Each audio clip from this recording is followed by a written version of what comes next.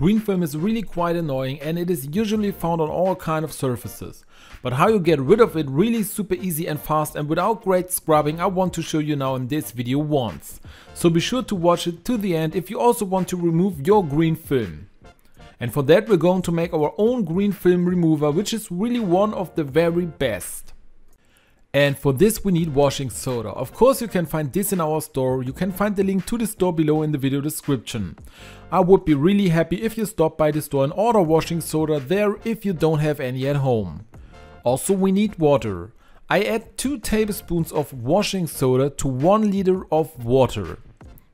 Everything is now mixed together and then we have our green film remover already mixed and with it you really get green film removed from just about any surface. I have now put the whole thing here in a spray bottle because it works best here for my purpose with it. On my balcony here I've already accumulated quite a bit of green film on these walls and I'm starting to spray it all in nicely now. Use in any case gloves for it and also make sure that you get nothing of the washing soda in the eyes or on the skin because it can be very strongly corrosive. Once we have sprayed the entire surface affected by the green film, we should wait for about 50 minutes so that the agent can work a little.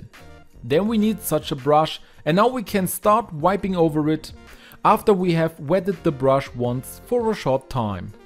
And then you can already see that everything has really already dissolved wonderfully well and we actually only have to wipe over here to really remove the coarse, smaller dirt everywhere.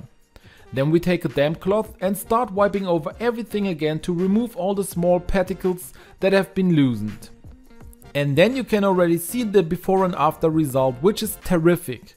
After that of course we wipe dry again and then our surface is completely free of green coating. Here you can see the before and after result. This side I have treated and the other side I did not treat on purpose so that you can see here again how well this mixture really works and on really all possible surfaces. Do you also want to know how you can remove weeds in a really super simple way?